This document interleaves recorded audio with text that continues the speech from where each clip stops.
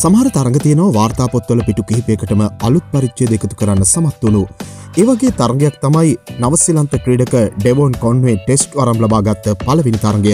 මේ තරගේදී ආරම්භක ප්‍රතිකරවා විදිහට පිටාපු ඩෙවෝන් කොන්වේ දිත්තු ශතකයක් ලබාගන්න සමත්වෙනවා. මේක වාර්තාපොතට එකතුවෙන්නේ ලෝඩ්ස් ක්‍රඩාංගනයේදී ක්‍රීඩකෙක් මංගල තරගේ ලබාගත්ත පලවෙනි දිත්තු ශතකය වගේම වැඩිම ලකුණු සංඛ්‍යාව විදිහට. නවසිලන්තේ වෙනුවෙන් ටෙස් දිත්ව ශතකයක් ගත්ත දෙවැනි ප්‍රතිකරුව විදිහට තමයි කොංග ඉතිහාස ගත වෙන්නේ. මීට කලින් මේ දක්ෂතාව දක්වන්න සමත් වෙලා තියෙන්නේ මැතිව් සිංක්ලයා විතරයි. මංගල තරගේ දිත්ව ශතකයක් ගත්ත වයස්ගතම් ප්‍රතිකරුව විදිහට දැන් වාර්තා පොත්තේ ඉන්නේ කොංවේ ඕගේ වයස අවුරුදු විසිනමයයි දින තුන්සිය තිස් දෙකක් මේ වාර්තාව පිහිටුවද්දී.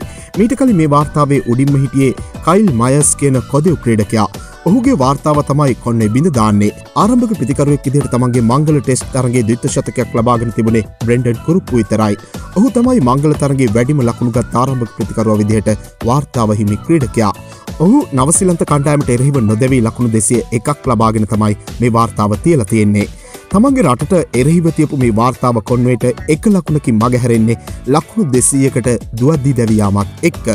මංගල තරගේ ක්‍රඩා කළ දිගු ඉනිම විදිහට වාර්තාගත වෙලා තියෙන්නේෙත් බ්‍රෙන්ඩන් කුරුප්පු විනාඩි හත්සේ හැත්තෑ හතකදී ලබාගත්ත ලකුණු දෙසිය එක. කොංගගේ ඉනිම දෙවැනි වෙන්නේ කුරුප්පුගේ ඉනිමට විතරයි. කොංගේ තමන්ගේ මංගල ඉනිමේදී මිනිත්තු පන්සිය හැත්තෑ අටක් කඩුල්ලේ ඉන්න සමත් වෙනවා.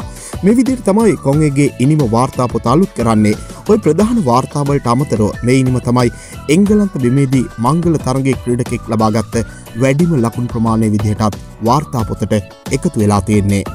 මෙන් වීඩියෝ දෙනපතා බලන්න අපත් සමග එකතුවන්න ඔබ තවමත් අපි චැනල එක සබස්ක්‍රයිබ් කල නැත්තං දෙම අප සබස්ක්‍රයිබ් කරන්නත් ක්‍රිකට්වලට කැමති ඔබේ යහලෙකුට බලන්න මේ වීඩියකෂයා කරන්නත් අමත කරන්න එපා ක්‍රිකට් පිටිය නම් දෙ සපරි තවත් අලුත් වීඩියෝවකින් හමුවනතෙක් ක්‍රිකට් ලංකාවෙතින් ඔබට සුබදවසාත්.